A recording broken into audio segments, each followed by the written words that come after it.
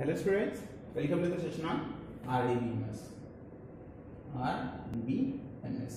In our today's session, we are going to learn one more new topic. Not topic actually, it is the terms which are related to your database management system. I can say. In that, the first term that I am going to discuss is your database. Uh, sorry, data files.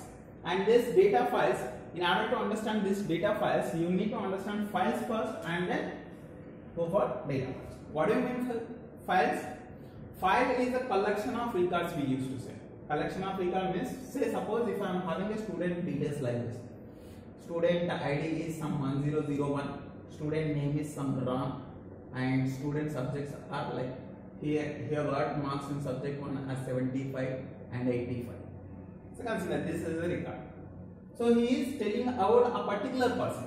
So consider if I am having collection of records like this 1002, Sita and 60, 85, then this is a collection of records, collection of interrelated data that will be stored in a single file. They are nothing but the files. But in case of your database, the data file generally while you are accessing the data, while you are accessing the data from the internet, while you are accessing the data from your database, every user will be thinking that it is a single piece from which we will be getting the information. But it is not true, man.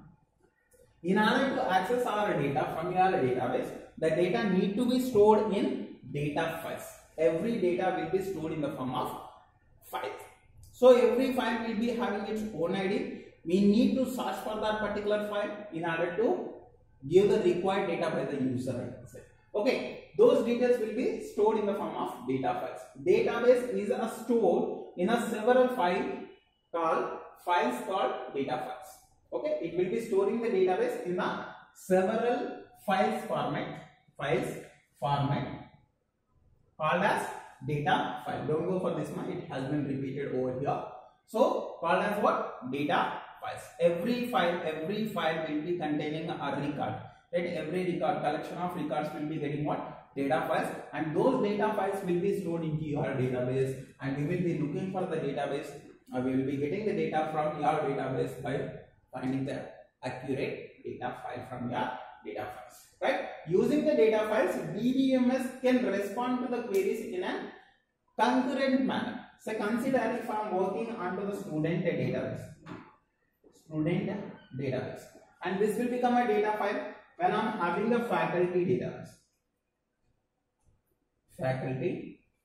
Consider these are not two databases. These are two tables which are stored in your university database. Then student will become one data file and faculty will become one more data file which is there in your database.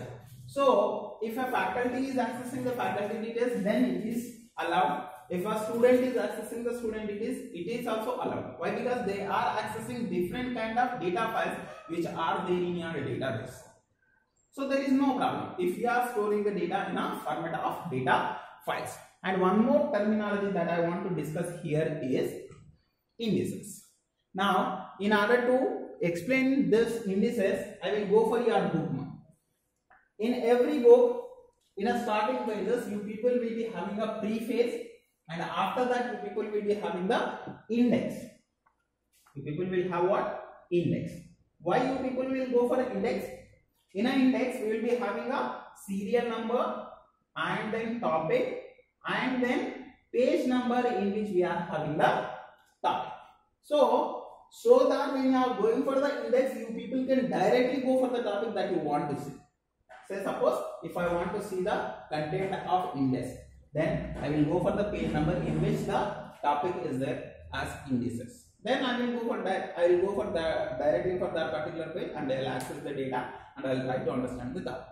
In the same way, when we are storing the data into the database, we will be creating number of databases, we will be creating number of databases, number of tables, number of views, right? We will be having lot of data to be stored into the database.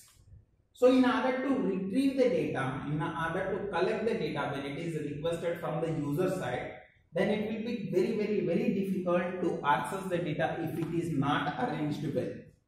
In order to arrange that, we will be using what? Indices. Indices is nothing but the indexes. right? index that we are going to use in order to represent our data types. Index is defined as an arrangement that follows a particular order. For example, as you people can see in your um, book that we will be having the unit number 1 in that we will be having 1.1 topic 1.2 topic 1.3 topic like this. Until the unit completes it will go like this. When it enters into the 2 unit unit number 2 then again the topic will change. 2.1 2.2 2.3 like this right? So it is arranged in particular order so that you can access these particular pages when it is required. We'll directly go for that particular page and we will be uh, studying the topic. In the same way we will be arranging the data in your database by using the concept called index. So that when we are retrieving the data when we are retrieving the data when we are trying to access that particular data that will become easy by using the indexes. So when you are having a unique numbers unique uh, primary key i can say primary key primary don't worry about this. We will be explaining in detail. Primary key. For now understand that primary key is a key which is used for uniquely identifying the data in your table. The table will consist of number of data right? In order to uniquely identify them we'll be using the primary key. For example in a student table we will be having student id for example in your class there will be a sita right? There will be another sita there will be another sita there will be another sita right? Multiple sitas will be there in a single class but their hall ticket numbers will be different. Their student id will be different. So when we are having unique primary key then by using these particular unique primary keys we will be preparing what? Indexes. So we can easily access this database we can easily access the content of that particular data. Okay that is what the indexes uses okay and then we are having one more terminology which is related to your database. Just try to understand them right? This is a question which is recently asked in your examinations now uh, they will be asking you people by giving the terminology like explain the following. So they will be giving index and they will be giving what? View. They will be giving data files. They will be giving you data dictionary. Okay now let me discuss data dictionary first. Okay it stores what? Data dictionary will stores the detailed information about all the tables.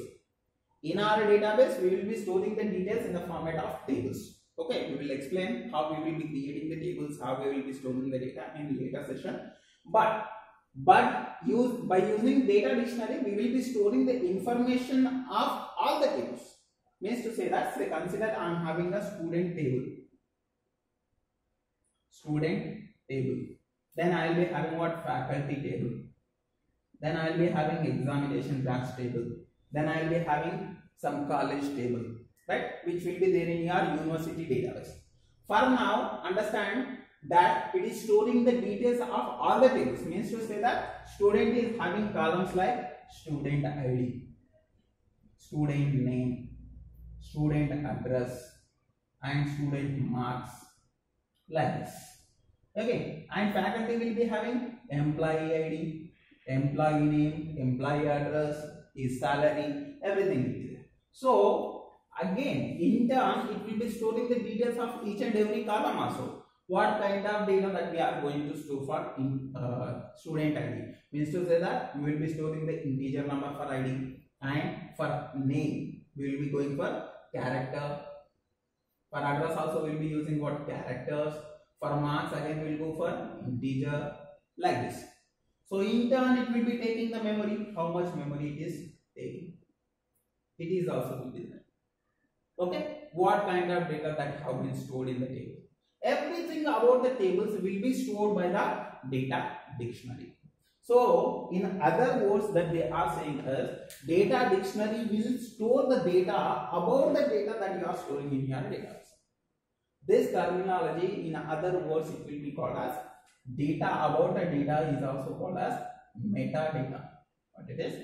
Metadata. So in order to store the details about the database, we will be going for data dictionary. So that it is very helpful in order to retrieve the data, in order to um, not lose the data by your database management system while you are having the data dictionary. okay. And same uh, this this is a few terminologies you need to remember about your database management or as database terminology i can say okay? This is not a topic but they will be asking you what is the indices what is the data dictionary and what is data files? Sometimes not every time. And again we are having some databases types types of databases. See we have seen what is the database already right database is a collection of interrelated data right? Those databases will be categorized by different aspects in which you are considering your database. For example i will come from the bottom that is number of users. When i am considering the number of users that they are accessing the database they will be considered as different kind of databases like single user database, desktop user database, multi-user database, work group database and enterprise database. When only single user is allowed for accessing the data and modifying the content then that will be called as single user database. And desktop database is nothing but whatever the database system that you are using into your PCs, personal computer or as desktop that you are using, they will fall under desktop database.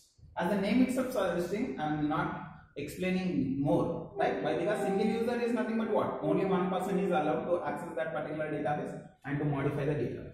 Right. Second one is your PCs. Desktop is nothing but your personal laptops, personal computers, right? Where what are the database that we are using in that? They will be called as desktop users. And multi-user is nothing but it is quite opposite to single user.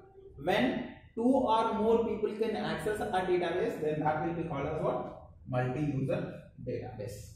And then work group database. In an organization we will be having different kind of departments.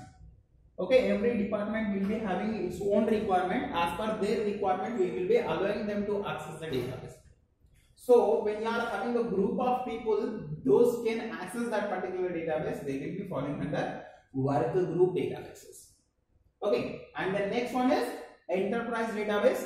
When a complete organization, when a complete company can access, then that will be called as enterprise database. This has been classified based on the number of users that they are accessing the databases.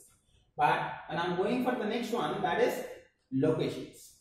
Based on the location of the database, also we can categorize them. That is centralized database system and distributed database system. Centralized database system is a system in which we will be storing the database onto a single site whereas from a single computer we will be handling our database. If you want to access you people will be requesting for this. If you want to modify you people will be requesting for this. If you want to access the data and want to see the data also you people will be requesting for that. So there is a centralized side, there is a centralized system in which we will be having the database. By that particular system only our database will be handled and that will be distributing the data when it is required by the other systems. Okay, this is the centralized database. Then what is the distributed database? See, when I am having a large amount of database, then I will be distributing among the multiple sites consider if I'm having five sets over here. Sorry. So when I'm having 500 of 500 GB of data, then I will be putting 100 over here, 100 over here, 100 over here, 100 here, 100 here.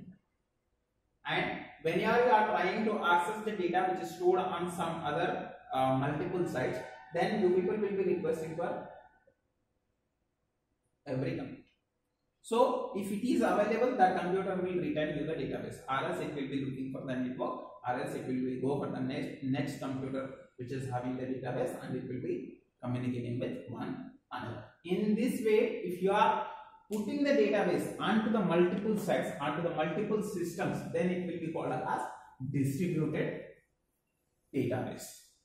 Okay, and then type of usage how you are using your database. Based on that also we are categorizing, categorizing them in two types. Operational database and data warehouses. See here, in a first thing, operational database is nothing but the database onto which we will be doing the day-to-day -day activity. day-to-day activity. Means to say that if you are having a banking database, then you people will be doing the transaction every day, every minute, every hour. So if you are performing the operations onto the database every day, there will be day-to-day -day activities onto the database. Then that will fall under what? Operational databases. Consider that if you are storing the data for number of years in order to analyze the history, in order to take the decision for an organization, then you people will be storing a lot and lot and lot amount of information into your databases. If you are storing that, if you are analyzing them, if you are doing good with your database, then you can take a good decision from your previous data. So those kind of data which is stored for a long period, then those will be called as data warehouses. By using them, we can take the decision about your company, about your organization, you can say by using what? data warehouses. I hope these topics are clear to you people. If there is any doubt, just let me know by your messages and we will clarify them and we will go for the next session. That's it for now. See you in the next one. Thank you.